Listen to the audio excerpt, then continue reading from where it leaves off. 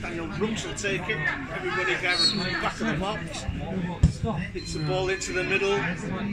Over the head of everybody. Lewis Axel gets his hands to it, but it's gone in.